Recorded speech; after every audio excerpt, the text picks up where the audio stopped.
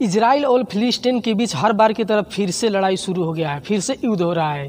पहला हमला फिलिस्तीन के गाजा पट्टी हमास ग्रुप के ओर से होता है इसराइल के ऊपर, सात अक्टूबर सुबह के छः बजकर तीस मिनट पे।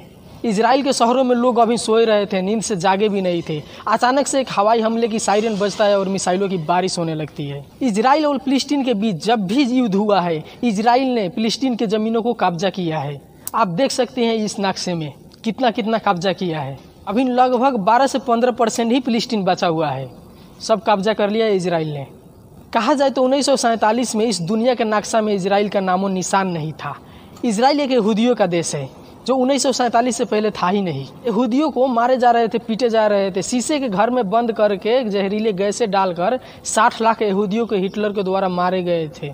पहला विश्व युद्ध के 10 सालों में एक लाख से ज़्यादा यहूदी आगे रहने लगे थे फिलिस्तीन में। 1936 से लेकर उन्नीस के बीच फिलिस्तीन के नागरिकों ने विरोध करना शुरू कर दिया यहूदियों को आते देख।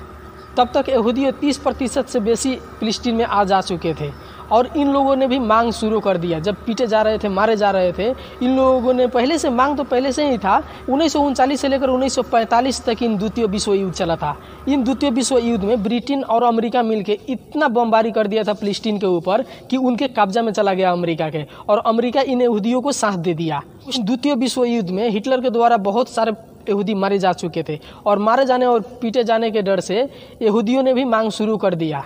फलस्तीन की नागरिकों का भी विरोध था और यहूदियों को भी मांग शुरू कर दिया। इन दोनों को, जमीनों को लेकर विरोध शुरू हो गया और ये फैसला चला गया ईएनओ में। और ईएनओ ने उन्नीस में 48 परसेंट फलस्तीन को दे दिया 44 परसेंट इसराइल को दे दिया और 8 परसेंट अंतर्राष्ट्रीय नियंत्रण में ले लिया। अभी जो युद्ध चल रहा है, वो ज़मीनों के लेकर धर्म में बदल गया है। फलस्तीन में एक जगह का नाम है जेरूसलम। वहाँ पे अलक्सा मस्जिद है जो मुस्लिमों के लिए है। सीने घाट है, जो यहूदियों के लिए है।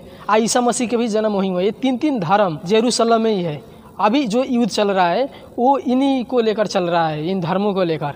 बहुत सारे सोशल मीडिया पर देखे कि इन बातों पे बहुत सारे लोगों ने बोल रहा है कि फिलिस्तीन जीतेगा इसराइल जीतेगा, लेकिन ये कोई नहीं बोल रहा है कि ये युद्ध रुक जाए। बहुत सारे बेगुनाह मारे जा रहे हैं जिसकी कोई गलती नहीं है। उम्मीद करता हूँ ये वीडियो आपको अच्छा लगा होगा। बहुमूल्य समय देने के लिए धन्यवाद।